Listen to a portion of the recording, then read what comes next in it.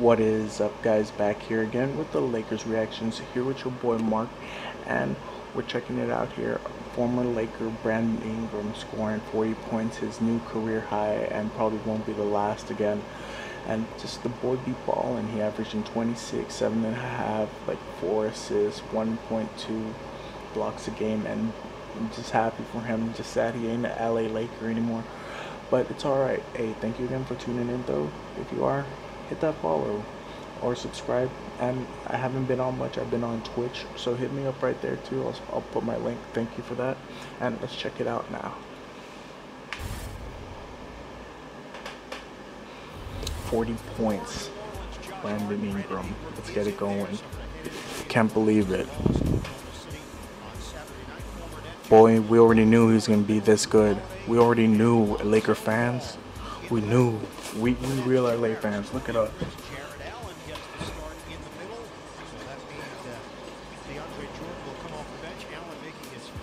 Thank you again for tuning in. Easy left hand.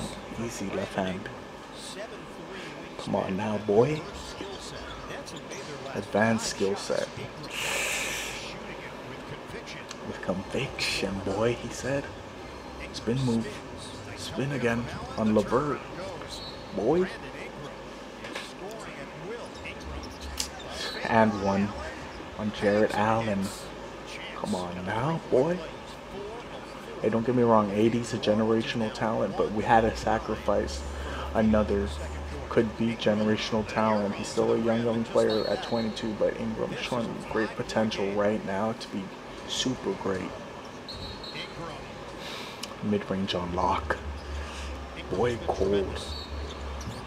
Boy silky smooth. Boy can drive. High off the glass.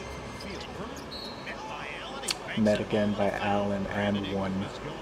Come on now, boy. Smart. Smart. Boy's a, boy's a great player, dude. Brandon Ingram, I miss you in LA. I miss you in LA. I can't lie. But I love Anthony Davis since he's from Kentucky. But this boy, dude, easy. Go from right to left. You don't know if he's gonna finish right or left. Boy's sick. Boy is nice. Boy is nice. Dude, this is ridiculous. On Taurean Prince easy. Showing full repertoire. That's his kill zone. Ingram the pull-up. He can't miss. It is stuck on automatic right now for He cannot miss. Ingram. Mismatch.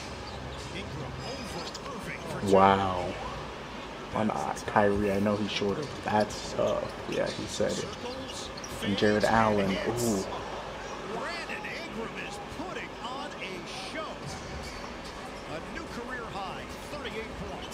Wow. Crosses on Harris, drives to the rim, flip shot goes.